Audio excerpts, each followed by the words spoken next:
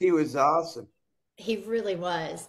Rudy, I was one of the folks who was absolutely crying when they played your video because you were an incredible inspiration to millions of people. And growing up seeing that movie, I was not someone who participated in team athletics, but seeing your movie helped me understand what would be possible for me. And it was just incredible.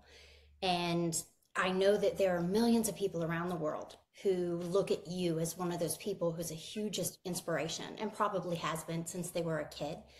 And what I wondered is when you were younger, who was that person that was your inspiration? Who was the person that you saw and you thought, oh, look, if that guy can do it, I can do it? Because I feel like so many of us model someone else and say, oh, you, you're proving it's possible. Now I've got to put in the work. Who proved it was possible for you? Wow, that's a great question. You know, I have many different heroes as I grew up.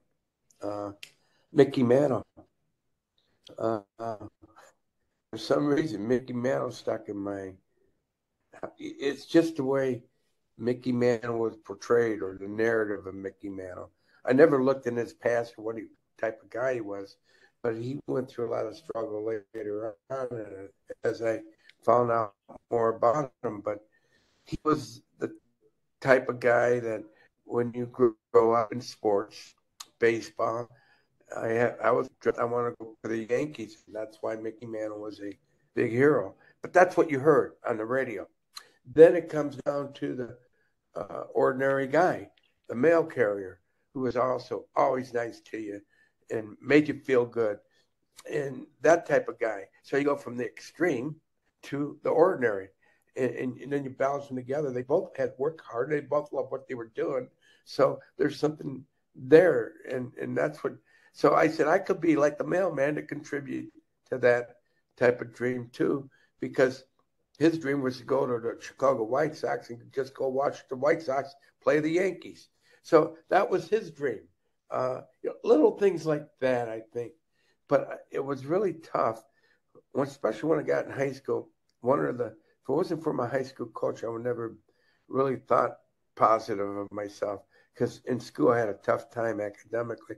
But my high school coach said, Rudy, if anybody could do it, you could do it. And it, it always stuck with me. So he was that another hero of mine. That's incredible. I love how you find the extraordinary in what other people would call ordinary.